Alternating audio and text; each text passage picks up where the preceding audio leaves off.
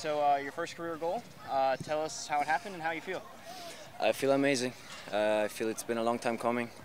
I've worked really hard, and the team has been really supportive.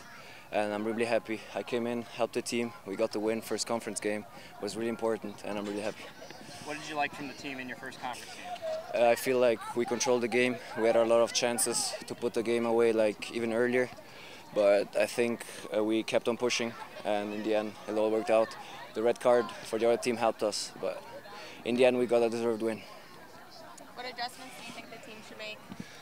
Um, I, feel, I feel like we just need to improve in the final third.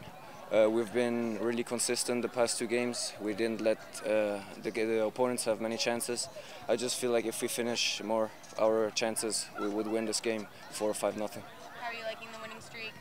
Uh, it feels amazing. It's hard work on the field every day, and this shows like on game days.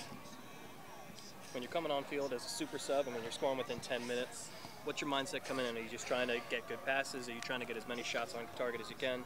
I, I, I, try to help the team as much as I can, whatever it is, defending, attacking, pressing, because uh, I'm fresh. The others have worked for a lot of time, and I feel like I can give that little push to the team, bring some energy in, and of course, if it works out with a goal, it's perfect. Anybody else got anything? Do you have any focuses on what you want to focus on in practice next?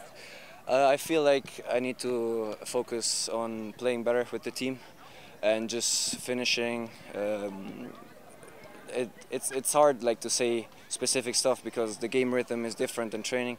But I feel like in training you can always improve in every single uh, exercise we do if you give 100%. Any questions for Joe? All right, thank you, Joe. Perfect. Thank, thank you so much. Congratulations. Thank you.